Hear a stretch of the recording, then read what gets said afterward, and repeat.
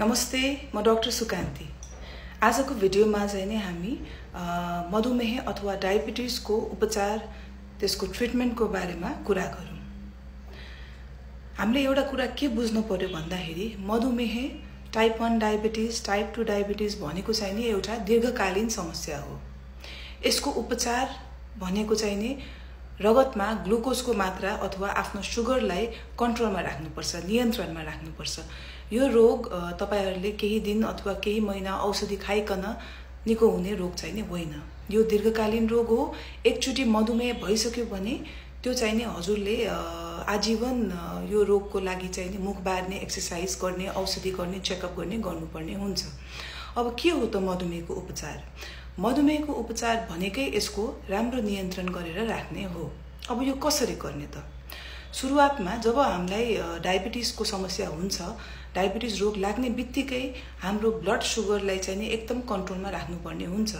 सुरुवातमा लापरवाही गर्यो अथवा ब्लड सुगरलाई राम्रोसित कन्ट्रोलमा राखिएन भने चाहिने लङ टर्ममा मधुमेहले हुने जटिलताहरू देखिने सम्भावना बढी हुन्छ।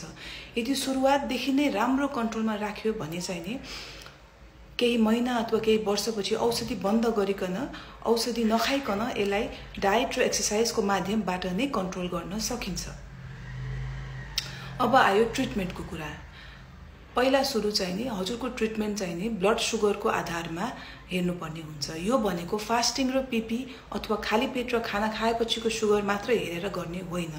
यो भनेको चाहिँ नि फास्टिङ पिपी हजुरको तिन महिनाको ब्लड सुगर एचबिए र अरू baseline investigations kidney function test cholesterol level liver function test हजुरको युरिन सुगर युरिन एसिड त्यसको आधारमा गरिन्छ। फास्टिङ पिपीको आधारमा मात्र गर्न मिल्दैन।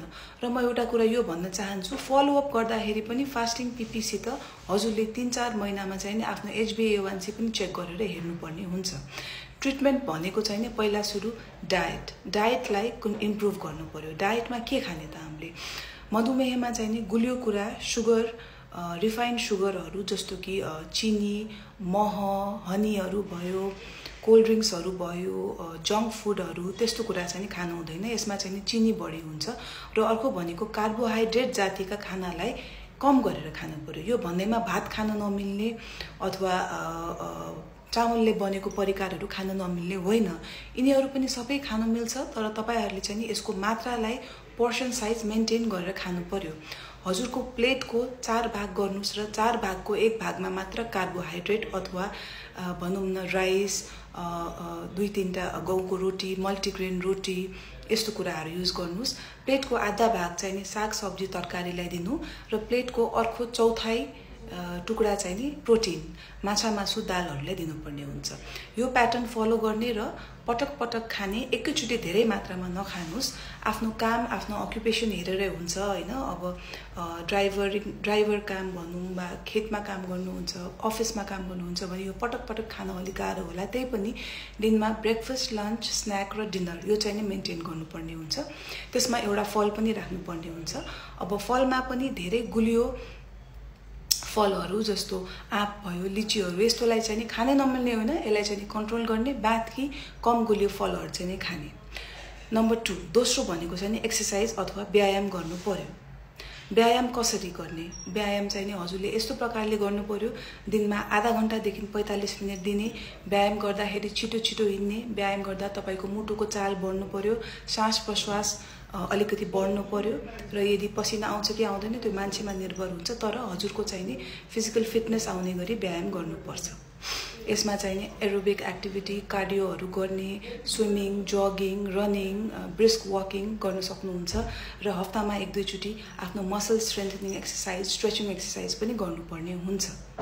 तेस्रो भनेको ट्रिटमेन्टमा औषधि अथवा इन्सुलिन सुरुवातमा नै यहाँको सुगर धेरै नै हाई छ वा बिचमा सुगर भएको दस महिना एक वर्ष दुई वर्षमा पनि सुगर धेरै हाई छ र हजुरलाई इन्सुलिन गर्ने इन्सुलिन युज गर्ने एडभाइस गर्नुहुन्छ भने अवश्य लिनुहोला।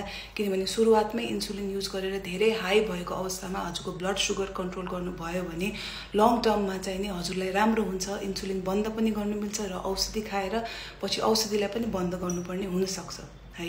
र अर्को भनेको मेडिसिन यदि मेडिसिन खानुपर्ने देखिया छ सुगर अथवा एचबिए वान सीको लेभल अलिकति हाई छ भने अवश्य लिनुहोला। र यो तिनवटा भनेको एकदम मेन प्रिन्सिपल्स भयो हजुरको। लाइफस्टाइल मोडिफिकेसन त्यसमा डायट र एक्सर्साइज पऱ्यो र लास्ट भनेको मेडिकेसन र अन्तमा फलोअप छिनछिनमा फलोअप गर्नु पऱ्यो हजुरको ब्लड सुगरको स्ट्याटस के छ तिन महिना चार महिना हेरी हेरी गर्नुपर्ने हुन्छ। र यति कुराहरू हजुरले ध्यानमा दिनुभयो सुरुवातदेखि नै मधुमेह लागिसकेपछि भनेपछि मधुमेह लागे पनि हजुरलाई कुनै पनि मधुमेहको जटिलताहरूले छुँदैन र एउटा हेल्दी लाइफस्टाइल युज गर्नुहुन्छ हेल्दी लाइफ बाँच्न सक्नुहुनेछ। है त हस् नमस्ते।